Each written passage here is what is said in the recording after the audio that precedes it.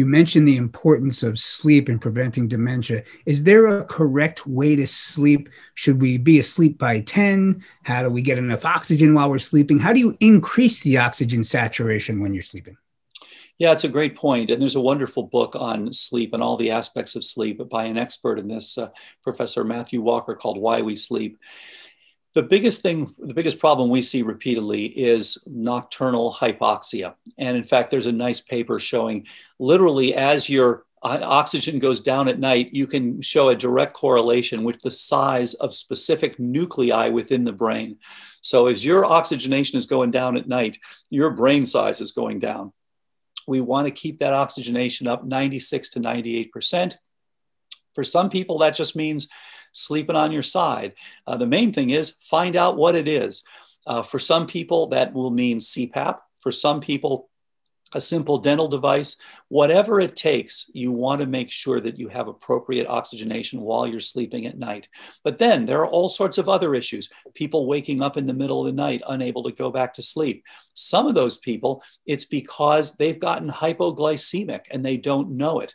If you have a diet that is a relatively high carb diet, then what will happen is you often will spike your insulin. So you, you see these increases, then you'll see these troughs, and people will wake up in the middle of the night not realizing it's because their glucose is 45 or 50 and it's plummeted, which is also harmful. So I think one of the biggest advances has been these CGMs, continuous glucose monitoring. Very nice. And I recommend everyone, please check your oxygenation overnight. Easy to do. You can do it with an oximeter. You can do it with an Apple Watch. You can do it with something called Beddr. There are all sorts of ways, excuse me, to do this. And you can check it with your doctor. Have your doctor loan you an oximeter. You can have them send you for a sleep study. Lots of ways to do that. Also, though, check your glucose. What you'll find is there are certain foods you may not have recognized that are spiking your insulin and, and your glucose. And then there are others where you're now plummeting at night. You need to smooth this out, and that you do that with a high good fats intermediate protein, low carb diet. Some people even take, uh, the, you know, shots of, of uh, extra virgin olive oil get that fat so that you now are stabilizing your, your glycemic load, stabilizing your glucose uh, while you're sleeping. And then there's all sorts of uh, sleep, uh, uh, sleep hygiene, you know, turning down appropriate things early, get some blue blockers uh, don't be exposed to things that are keeping you going you know don't watch a scary horror movie right before you go to bed there are all sorts of things and again we went through all of these uh, in the book, The End of Alzheimer's Program, that just came out uh, in uh, August of 2020. Uh, and actually worked with uh, someone who's doing this herself each day and doing very, very well. And this is Julie Gregory, Uh, the one who founded ApoE4.info. So, all these things very helpful. Optimal sleep has been shown repeatedly to Im- improve cognition and to reduce the risk for cognitive decline. In your book, The End of Alzheimer's, there was a chapter called Success and the Social Network Two People's Daily Routines. Right. Please explain what this was about. Right. So, my point there was that one of the most powerful things that's going to change our global burden of dementia is the social network. People are talking to each other now. Uh, I wrote this because I went to a meeting where a number of people from ApoE4.info came to the meeting.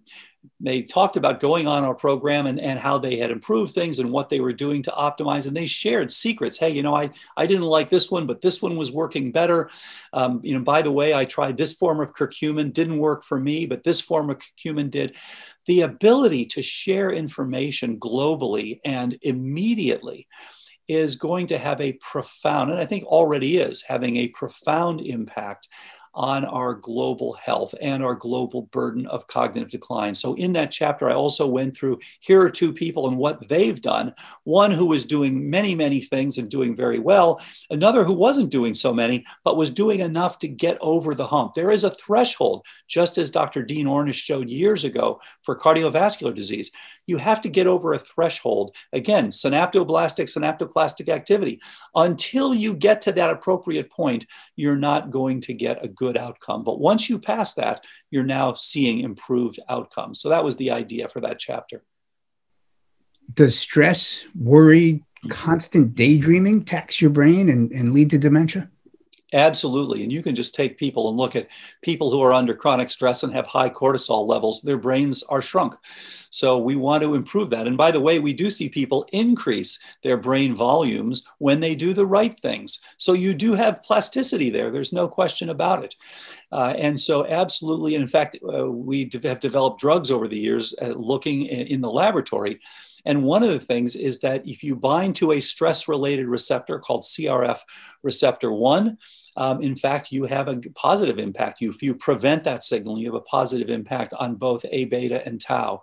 So, in fact, yeah, absolutely stress. And the whole kind of, it's not just insults, it's perception of insults. Those are, so they, they actually both give it they give this pro alzheimer effect on your brain we're measuring these various insults like the various pathogens and inflammation but threat is also uh, a, a, something that is a pro alzheimer's effect so stress now short periods of stress with resolution actually supportive. This is a hormetic effect. It's the chronic, unmitigated stress that is really damaging.